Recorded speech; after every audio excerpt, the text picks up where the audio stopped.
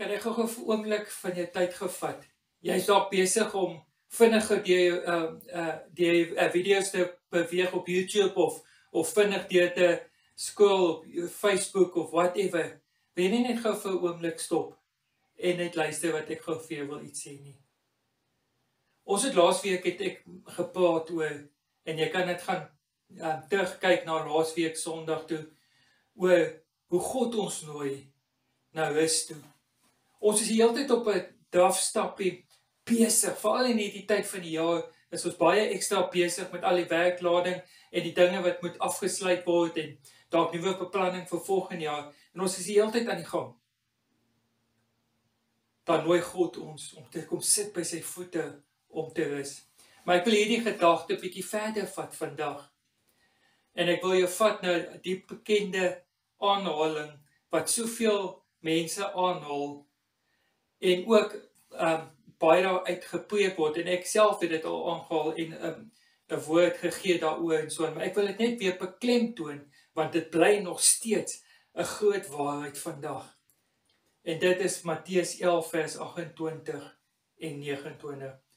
Jesus sê: Kom na my toe, almal wat uitgeput en oorlaai is, en ek sal julle rus gee. Neem my juk op julle en leer van my, want ek is sagmoedig en nederig van hart, en julle sal rus kry vir julle gemoed. Nou daar's verskillende tipes rus in hierdie wat 'n mens kan kry. Eerstens is jy fisiese moeg wat jy het.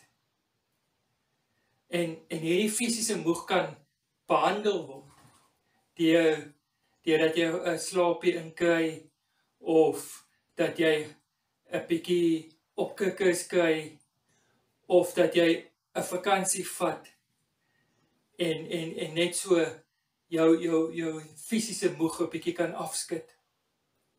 Maar dan is daar 'n ander belangrike moeg. En dit is die moeg van die siel. En dit maak ons baie keer onrustig. En hierdie woord onrustig som dit so mooi op. Maar dit gaan gaan nie oor spesifiek om te kom op 'n plek waar jy nie so baie werksoorlading het wat jy nou dink jy gaan rus kry nie.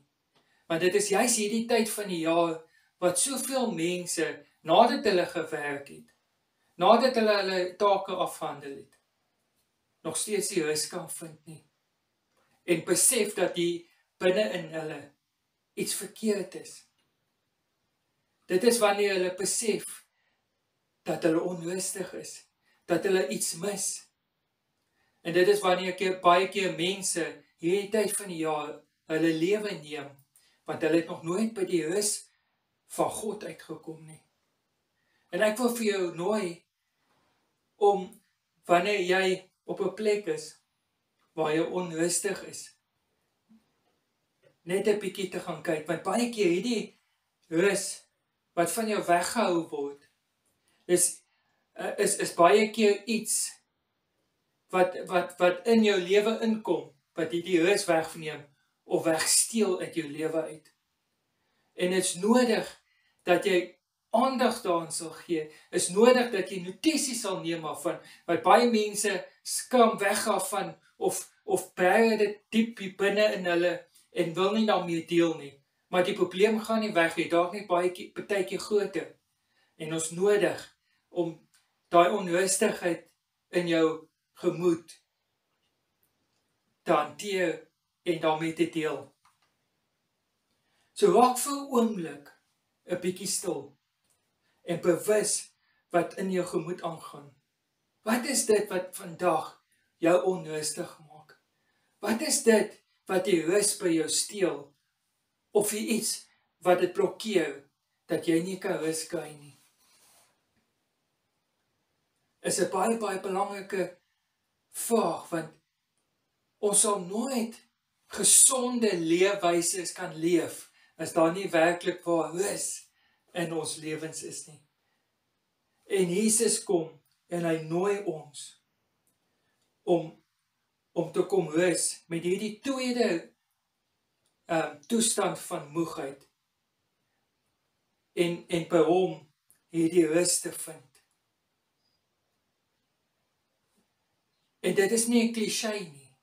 Maar baie keer koppel ons rus aan aktiwiteite of mense of gebeure of artikels en so kan ons aannoem en ons kom net nooit tot by die rus uit nie.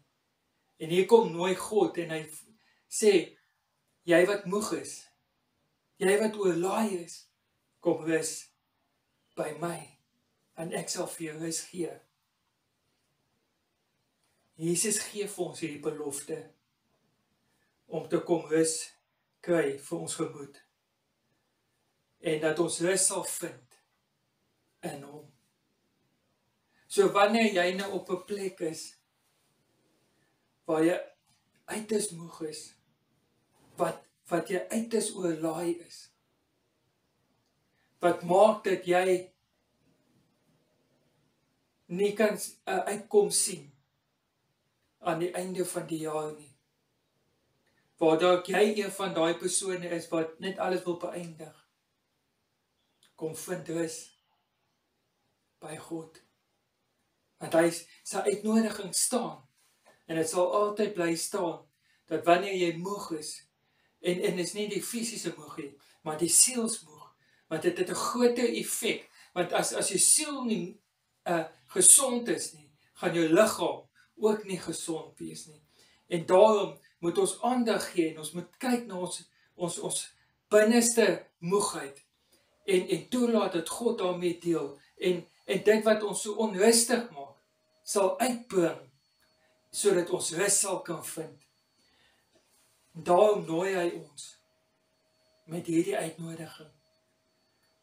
Moenie na ander goed kykie, maar kyk na hom vir rus in jou lewe sodat jy ware rus kan vind sodat die lewe vir jou sin sal maak.